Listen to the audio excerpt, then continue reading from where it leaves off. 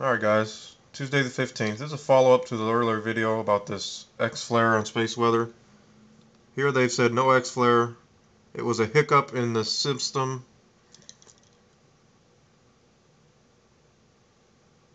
Now what kind of concerns me a little bit is it says the most noticeable error was a purported X20 plus solar flare. Such flares can occur but not today. In the history of this site, I don't think there's ever been an X20 plus solar flare. So anyway, that's been debunked. Solar wind is decreasing right now. And that could be concerning because when solar wind dips below 350, we have a, a good chance at another earthquake.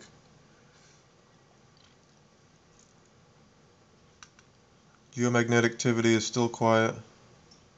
And here we have another new close approach asteroid. This is a pretty big one here, 18M. 2011 EB74.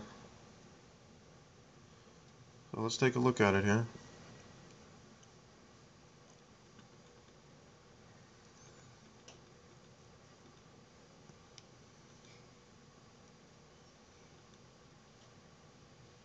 If the thing would ever load. Uh, this is pretty darn close. Its orbit is slightly different than ours on a different axis. But this one gets within 0.0023. That's awful close, people. Keep your eye in the sky. And there have been many meteor sightings here at the AMA today, 14th.